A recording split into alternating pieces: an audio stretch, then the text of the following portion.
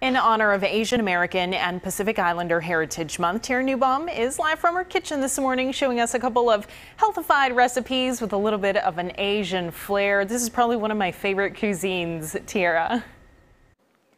It is mine as well, Leslie. I think I had some sort of Asian food every single day this week, but I'm excited for this morning, excited to share some really yummy but also healthy recipes with you guys. We're starting off with a peanut sauce because we're gonna make some spring rolls with a peanut sauce here. A little bit later on, we'll, we'll make the spring rolls. They're gonna be fresh. They're gonna be perfect for these hot, hot temperatures that we're talking about. I can't even believe it. Um, but let's start with the peanut sauce. I could eat this on pretty much everything. So what you're gonna do do is you're obviously gonna need some peanut butter. So we're gonna take about a fourth cup of some peanut butter and you're gonna wanna put that into, I'm just using a clear jar this morning so you guys can kind of see what I'm doing. And since some of that's stuck in there, we're gonna add a little bit more from straight from the jars if we couldn't all just eat a spoonful of peanut butter by itself. And then you're gonna take one and a half tablespoons of some sesame oil. We have about a half teaspoon of some minced garlic, uh, ginger. And then we are going to mince some garlic as well. This is just one clove of garlic for a nice little pop. And then we have three tablespoons of some soy sauce. Now I'm using a gluten-free soy sauce, but of course you guys can use whatever soy sauce you love. You can also use coconut aminos. I've used those a lot in my recipes. It's a healthy alternative to soy sauce. It's just a coconut nectar as the base of that. And you might need a little bit more. Coconut uh, aminos are a lot less salty, um, but about two to three tablespoons of regular soy sauce.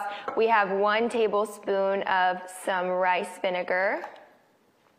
And then really to just thicken things up, I like to add about two to four tablespoons of some hot water to this. I mean, to, to thin out the uh, sauce here. So we'll do, we'll start with about three tablespoons of that. And then you're going to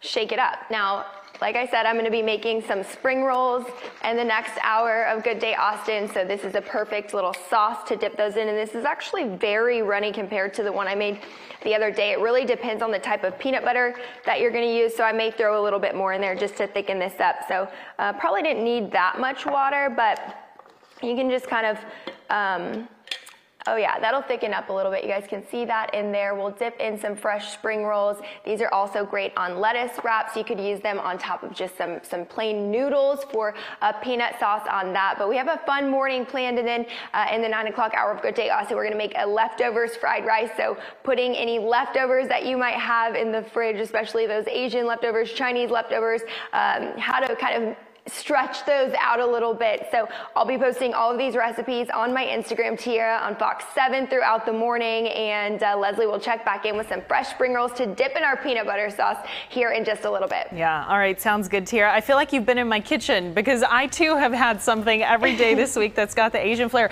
And I love that you found that gluten-free soy good. sauce. I just found it a couple weeks ago. Same, I used to use coconut aminos, now I'm using tamari. It's really good.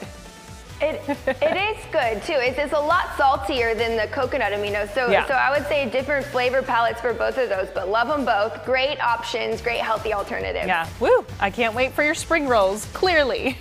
All right, thanks, Tierra.